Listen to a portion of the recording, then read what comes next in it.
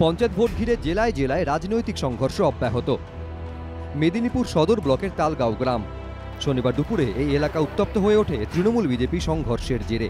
শাসক দলের অভিযোগ তাদের কর্মীরা মোটরবাইক নিয়ে যাওয়ার সময় বিজেপি হামলা চালায়। এরপরই দুই দলের মধ্যে সংঘর্ষ বাঁধে। তাতে তৃণমূলের তিনজন এবং বিজেপির একজন জখম হন। আমাদের এদিকে দিয়ে হঠাৎ দেখছি এক গাদা বিজেপির নেতারা ছিল। বাইক নিয়েছিলাম এসে আমাদের উপরে কারা?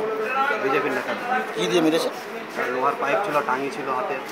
আজকে সকালবেলা থেকে তৃণমূলের দুষ্কৃতীরা সকাল মানে বারোটার দিকে তৃণমূলের দুষ্কৃতীরা জড়ো হয় ঘরে ঘরে গিয়ে আমাদের প্রার্থীদের আক্রমণ করে।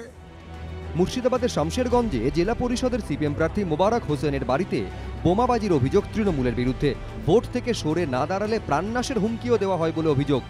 এলাকা জুড়ে একটা তৃণমূলী সন্ত্রাস চলছে।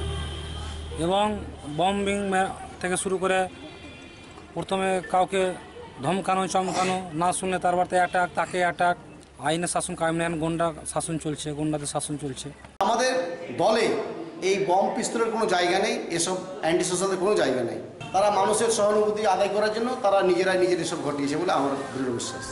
হুগলির আরামবাগের হিয়াতপুরে শুক্রবার তৃণমূল কর্মীদের ওপর বোমাবাজির অভিযোগ ওঠে সিপিএম সমর্থিত নির্দল প্রার্থীর অনুগামীদের বিরুদ্ধে। হামলায় জখম শাসক দলের এক মহিলা কর্মী সহ মোট তিনজন। তারা আরামবাগ মহকুমা হাসপাতালে ভর্তি।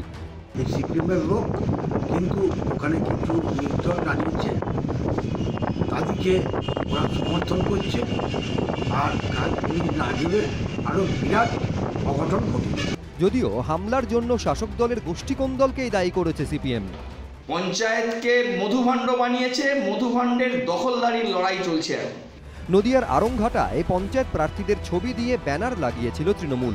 সেই ব্যানারে সিপিএম তাদের প্রতীকের ছাপ দিয়ে দেয় বলে অভিযোগ। তৃণমূলের তরফে ধানতলা থানায় অভিযোগ দায়ের হয়েছে। এবিপি আনন্দ।